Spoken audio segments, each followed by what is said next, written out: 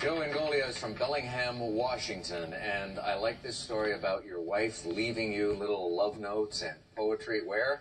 Well, right next to the bed, she has a little uh, heart that she's sewn, and I don't. I'm not even sure that she knows that I read them. We don't talk about them. It's just I pull them out and read them, and every once in a while there's something new there. Is it a soft heart, like a sachet? It with- is. It's a sachet that she's made and uh, puts all kinds of poetry. How long have you guys been married? Five years. With little things like that, you're going to last many, many more years. so. Believe me.